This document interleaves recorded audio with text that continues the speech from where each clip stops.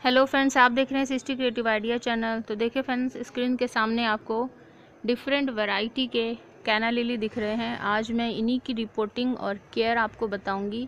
कैना लिली का जो प्लांट है बेस्ट समर प्लांट है। फ्लावरिंग भी बहुत अच्छी करता है और ये आपके गार्डन में हमेशा बना रहता है। सालों साल एक प्लांट ले लीजिए और वो हमेशा आपके गार्डन में रहेगा और बहुत सारे बेबी प्लांट अपने आसपास से निकालता रहेगा। तो मैं दिखाती हूँ आपको बेबी प्लांट ये देखिए आपको दिख रहा होगा, यहाँ एक प्लांट है, इसके बगल में ये जो साइड से निकल रहा है, ये बेबी प्लांट है। तो इस पॉट में मैंने सिर्फ़ एक लगाया था, जो बीच में है सेंटर में ये वाला। और उसके बाद आपको ये इतने सारे जो दिख रहे हैं, ये इसने खुद ही बेबी प्लांट निकले हैं। मेरे पास एक ही प्लांट था, उसी से ये इतने सारे आपको जो पॉट दिख रहे हैं, सब में मैंने निकाल निकाल के लगा दिए हैं और मेरे गार्डन में बहुत सारे काना लिली के प्लांट हो चुके हैं। आप देखिए कितने सारे हैं, बहुत सारे हैं। तो आज हम इन्हीं की रिपोर्टिंग करेंगे और ये छोटी से छोटी चीज़ों में भी चल जाते हैं और बड़े से बड़े पॉट में भी आराम से चल जाते हैं। तो मैं सजेस्ट करूँगी कि आप बड़े पॉट में लगाइए, ज़्यादा से ज़्यादा, क्योंकि इसमें से बेबी प्लांट निकलते रहते हैं। तो ये मेरे पास जो है अठारह इंच का पॉट है, मैंने इसमें लगाया है और इसमें बहुत अच्छा चल रहा है और फ्लावरिंग भी कर रहा है। मतलब कि जो फ्लावर आते हैं वो भी कर रहा है। मैं इसकी स्टिक दिखा देती हूँ आपको, ये देखिए।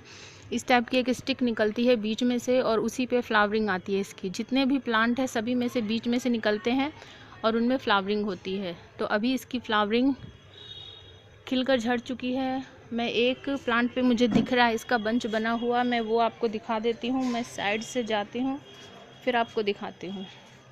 इनकी लीव्स का कलर जो है, वो थोड़ा डिफरेंट डिफरेंट है। बट ये सब एक ही प्लांट के हैं और एक में से ही मैंने सब अलग किए हैं। तो ये देखिए ये एक आज खिला था और ये झड़ चुका है, ठीक है? ये अपने आप गिर जाएगा और यहाँ देखिए, ये सामने। ये दिख रहा है आपको? ये ये इसकी स्टिक होती है, ये देखिए, ये निकलने लग रही है। मैं दूर जाके दिखाती हूँ आपको। ये देखिए स्टिक निकल रही है और इसमें से कुछ ही दिनों में ये इतने सारे फ्लावर खिलेंगे। ठीक है फ्रेंड्स तो प्रोपोगेशन की बात मैंने आपको बता दी। वाटरिंग जो है, इस पर बहुत कम चाहिए, ज़्यादा वाटरिंग की ज़रूरत नहीं है। क्योंकि आप लीव्स देख रहे हो, कितनी बड़ी बड़ी लीव्स हैं। इन्हीं लीव्स में इनका पानी स्टोर होता है। तो आप जब भी पानी डालेंगे, इसमें मिट्टी चेक करके डालना। अगर आपकी मिट्टी सूख गई है अच्छे से तो ही आप वाटरिंग करना। ठीक है फ्रेंड्स तो चलिए इसकी रिपोर्टिंग शुरू करते हैं। ये देखिए फ्रेंड्स आपको दिख रहा होगा एक और। ये मैंने छोटी सी पेप्सी वगैरह की जो बोतल होती है, उसमें लगाया है। लिमका की बोतल है सॉरी ये। ये मैंने किसी को देना है, इसलिए लगाया है क्योंकि पॉट वगैरह कैसे दूँगी, इसलिए एक बोतल में लगा दिया मैंने कि मैं उनको ईजिली दे दूँगी। ठीक है फ्रेंड्स मैं इसकी मिट्टी की बात कर लेती हूँ तो मैंने इसमें रखा है फिफ्टी से फिफ्टी परसेंट मैंने इसमें गार्डन सॉइल जो होती है, वो रखी है। थर्टी से ट्वेंटी फाइव परसेंट मैंने इसमें रिवर सैंड मिलाया है और घर का बना हुआ मेरे पास कंपोस्ट होता है, वो ऐड किया है बाकी। आपके पास जो भी हो, वर्मी कंपोस्ट कंपोस्ट गोबर की खाद, जो भी आपके पास हो, वो सब इसमें ऐड करना। ठीक है, इसके बाद देखिए हम इसमें डालते हैं। एन है मेरे पास नाइनटीन नाइनटीन तो मैं इसमें डालूँगी हाफ़ स्पून ठीक है फ्रेंड्स ये देखिए, ये हमने डाल लिया। इसके बाद जब भी आप कोई भी प्लांट रिपोर्ट करते हो तो आपको उसमें फंगी पाउडर ज़रूर डालना चाहिए, ताकि हमारे प्लांट में कोई भी फंगस वगैरह ना हो जाए। ये भी मैं हाफ़ स्पून ही डालूँगी, इससे ज़्यादा नहीं डालूँगी, ठीक है?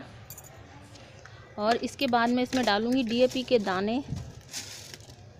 सात आठ दाने डाल देना आप गिनकर, और इनको अच्छे से मिक्स कर लेते हैं, उसके बाद मैं बताती हूँ।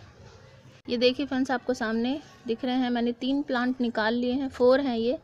ये देखिए, और साइड से एक बेबी प्लांट इसमें निकल रहा है। तो ये जो पॉट लिया है, ये मेरे गार्डन में ही रखा। आपने बहुत बार देखा होगा। आई थिंक ये सत्रह अठारह इंच का पॉट है। ठीक है तो हम इसमें थोड़ा सा जगह बना लेते हैं। इसमें एक दूसरी बेल लगी हुई है। इसके ऊपर भी बहुत जल्दी एक वीडियो मैं अपलोड करूँगी, बनाऊँगी, अपलोड कर दूँगी। ये गिलोई बेल है, अभी तक इस पर ग्रोथ स्टार्ट नहीं हुई है, बट बाकी सारी जगह जहाँ भी मैंने लगाई है, वहाँ सभी पे ग्रोथ स्टार्ट हो चुकी है। तो इसीलिए मैंने इसके ऊपर अभी वीडियो नहीं बनाया है कि इस पर ग्रोथ स्टार्ट हो जाए, फिर मैं आपको दिखाती हूँ, ठीक है? तो हम इसमें जगह बना लेते हैं। बहुत बड़ा पॉट है ये। पिछले साल मैंने इसमें पत्तियों की खाद बनाई थी। इस बार हम इसमें कुछ प्लांट लगा रहे हैं। तो मैं इसमें थोड़ा सा एप्सम सॉल्ट डालूँगी, जो लीव्स वगैरह को ग्रो करने में हेल्प करेगा और प्लांट को शौक नहीं लगेगा कि मैं पता नहीं कहाँ आ गया हूँ। ठीक है तो इसको मिक्स कर लेते हैं। ये देखिए, और इसके बाद में इसमें अपने तीनों प्लांट ये ये इसमें सेट कर लेती हूँ और जो हमने ये मिट्टी बनाई है, ये फिल कर लेती हूँ और फिर आपको दिखाती हूँ। ये देखिए फ्रेंड्स, मैंने सारे प्लांट इसमें लगा दिए हैं और मिट्टी को दबा दबा कर इनको अच्छे से फिक्स कर दिया है। ठीक है फ्रेंड्स, ये देखिए, अब हम वाटरिंग करेंगे।